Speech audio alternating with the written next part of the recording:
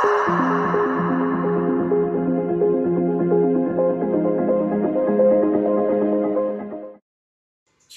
assalamualaikum warahmatullahi wabarakatuh. Apa kabar teman-teman semuanya? Saya harap semuanya baik-baik saja. Tetap dalam lindungan Allah Subhanahu Wa Taala Diberkati panjang umur barokah rezeki dan barokah segalanya. Amin. Amin. Di kesempatan kali ini saya akan mereview DLMS DBX 260 yang ori ya teman-teman Yang ori Ini kiriman dari klien saya Untuk di racing yang ori itu seperti apa mas? Bedanya yang ori dengan yang KW itu seperti apa? Kalau sekilas dilihat dari depan itu sama ya teman-teman. Sekilas. Tapi kalau teman-teman putar ke belakang Perbedaannya mencolok ada di sini. Ya. Kalau yang ori Jacknya ini ya teman-teman. Jack 220 ini. Ini dia stiker Stiker ya bukan sablon. Itu yang pertama.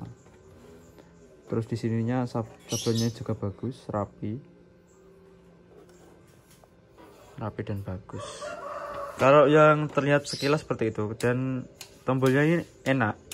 Kalau yang ori enak tombolnya. Kalau yang KW tidak bisa seperti itu. Dan kalau yang ori dilihat dari depan kita coba putar di sini ya. Ini cetik-cetik teman-teman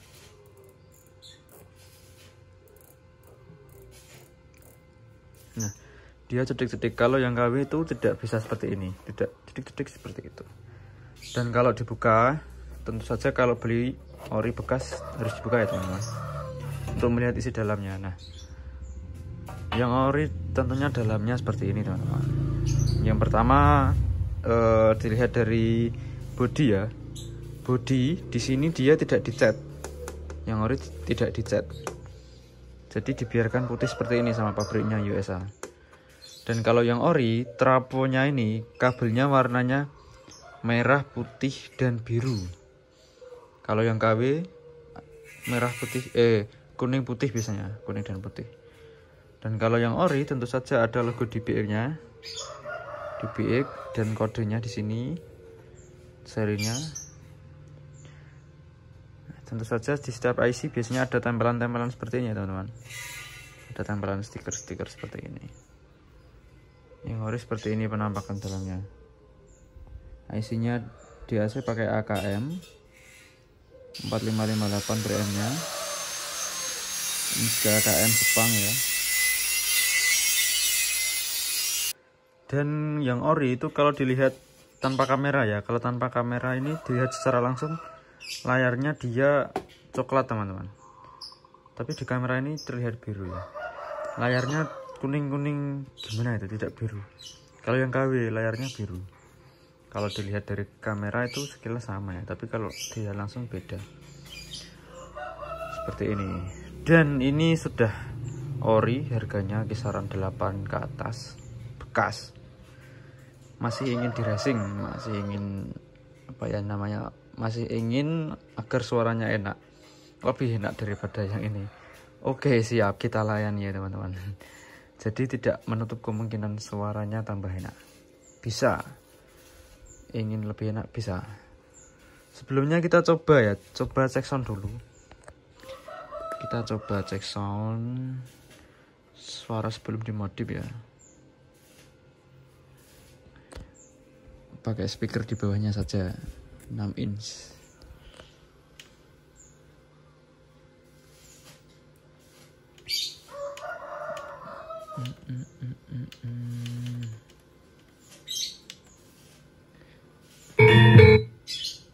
saya pakai output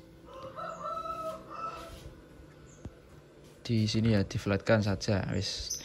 Pakai out 2 sebelumnya out 1 sampai out 1 sampai 4 ini adalah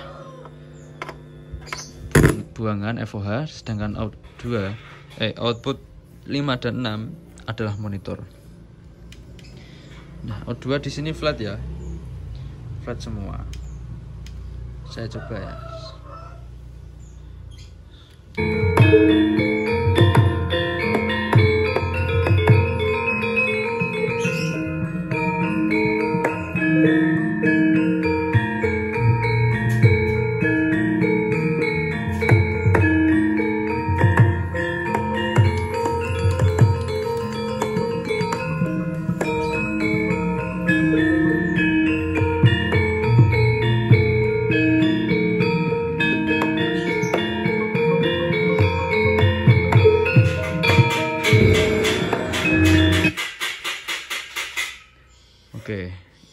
Sekilas. Kita coba lagu yang jernih-jernih lah.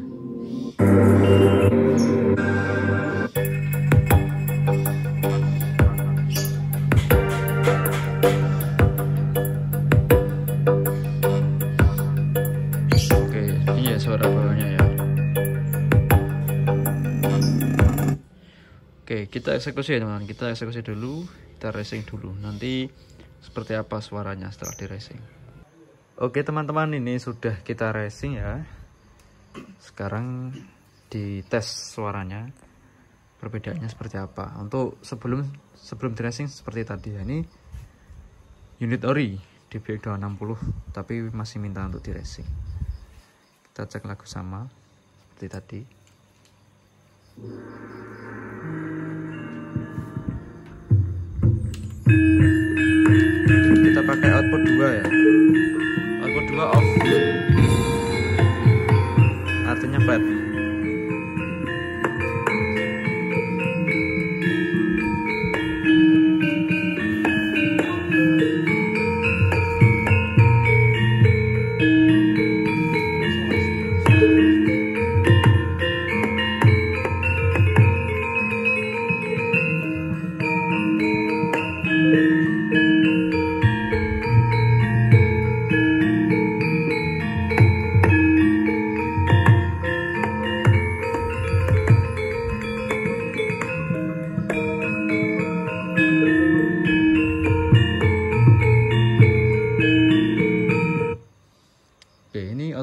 2 ya, masih di output 2 di sini ya.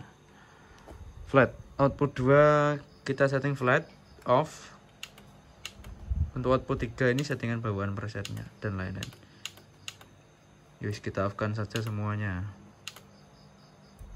Biar tidak ada pembodohan di sini.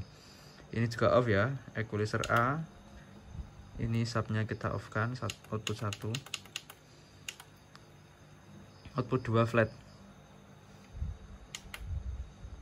satu ini low ini. Tiga untuk mid. Empat flat. Dua dan empat ya dua dan empat flat. Oke kita coba lagu tadi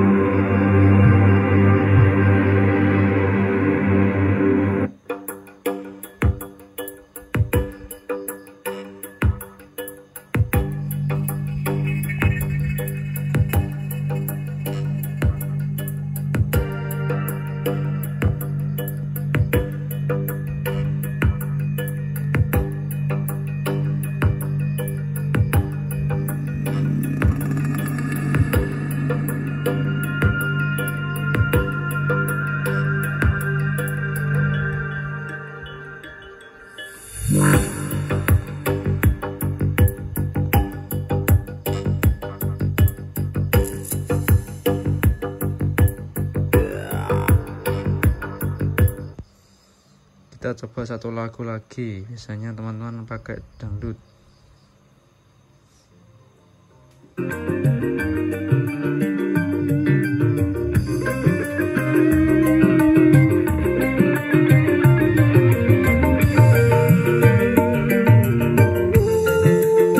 Kelamaan kena copyright. Oke, seperti itu teman-teman suaranya sebelum dan setelah dimodif. Kalau teman-teman mungkin ada yang kurang teliti dalam mendengarkan, mungkin tidak terasa. Tapi kalau teman-teman mendengarkan langsung di depan sini, di depan speaker ini, terasa jauh teman-teman perbedaannya. Walaupun ori itu sudah bagus ya teman-teman, tapi kalau dimodif lagi, mungkin walah tetap jauh lebih bagus teman-teman. Soalnya ori standar standarisasinya telinganya orang luar itu biasanya lagunya lagu-lagu biasa, jazz, pop dan lain-lain. Kalau di Indonesia kalau tidak dangdut ya terus geler-geler DJ seperti itu. Ya tidak marem. Kalau tidak pokoknya kalau tidak suara tidak clear dan lantang dan enak di telinga. Kalau Indonesia itu kurang telinganya itu kurang marem katanya. Kurang enak nah seperti itu. Makanya kalau setelah dimodif itu terasa perbedaannya. Oke sekian konten kali ini. Kurang lebihnya mohon maaf. Terima kasih telah penonton Semoga tetap sehat, diberikan panjang umur, kesehatan, dan barokah semuanya. Amin. Terima kasih. Wassalamualaikum warahmatullahi wabarakatuh.